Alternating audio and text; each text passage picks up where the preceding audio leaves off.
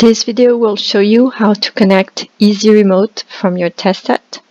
The first step is to make sure that the management port of your test set is connected to the internet. So it can be either done from the Ethernet management port on your platform or through the Wi-Fi Ethernet adapter. Either way, you need to acquire an IP address, and the IP address acquired is displayed on the bottom left corner of your screen. The next step is to go to Utilities, Settings, More, and access the EZ Remote icon. Click on the EZ Remote icon, and it will open up the EZ Remote connection screen. Just simply hit Apply and the test set will automatically register to the EZ Remote server maintained by VeEX. The registration uh, step will take about 30 seconds and once it's completed it will display a screen uh, giving the remote partner information in order to connect to the EZ Remote um, website. So here is the information you'll be looking for. Um, the remote user will have to connect to the ezremote.veexinc.com website and enter the following session ID when prompted to do so on the screen. The remote user will then be able to remote control your units. Once you're done with the EZ Remote session, just simply press the stop button and the EZ Remote registration will be cancelled for this test set, therefore you won't be able to connect to it anymore. When the EZ Remote is connected and active, you'll have this easy icon on the bottom right corner of your screen and you'll be able to see the status of the EZ Remote connection.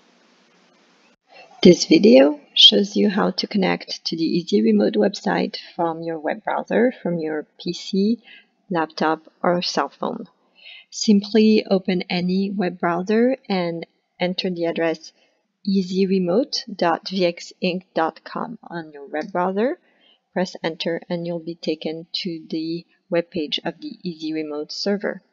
Then simply enter the um, session ID that was displayed on screen on your test set in the window and press search.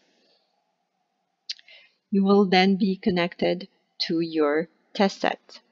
There will be two windows that open up. Make sure that pop-up is allowed on your web browser, otherwise these windows won't be able to open. The first window is called Remote Control and allows you to remote control your test set as if you were uh, operating it directly.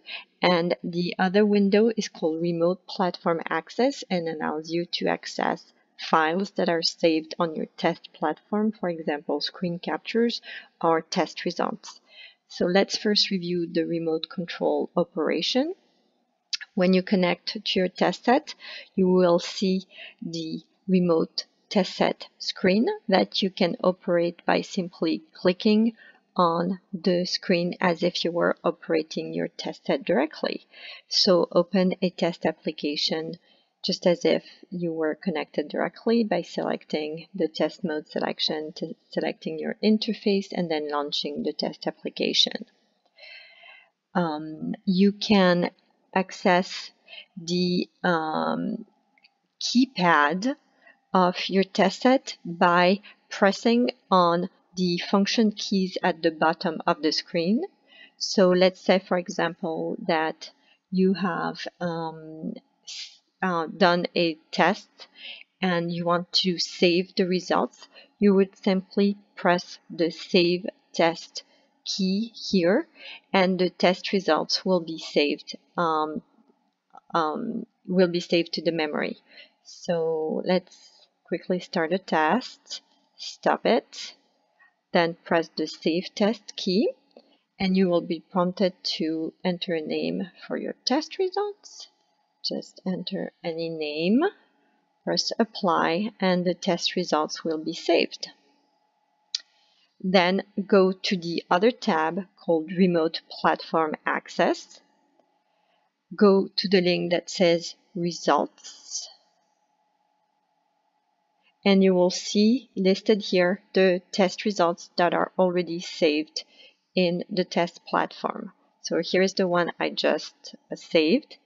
So you can either download it to your computer directly um, or you can PDF the file and then the PDF will be created on your computer and you can simply view the PDF later on um, here in your download folder.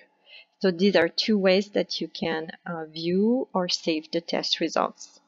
When you are done with the EZ Remote session, you can go back to the platform EZ Remote application and press stop or have the uh, remote user press stop at the end of the EZ Remote session. Be careful once you press stop, the remote user will not be able to access the platform anymore.